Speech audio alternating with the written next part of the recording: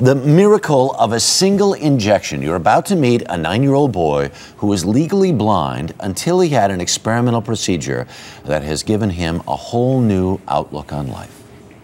For so long, we didn't know what he had. Classified as legally blind due to an inherited disease called Leber congenital amaurosis, reading in school or riding a bike came with a high degree of difficulty for Corey Haas. A gene therapy trial at Children's Hospital of Philadelphia changed all that.